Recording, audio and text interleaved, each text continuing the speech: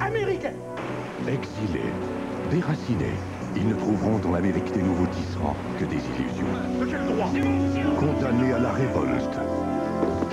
Exploités par une bourgeoisie sans merci. Ils s'engageront dans une lutte à l'issue moins que certaine.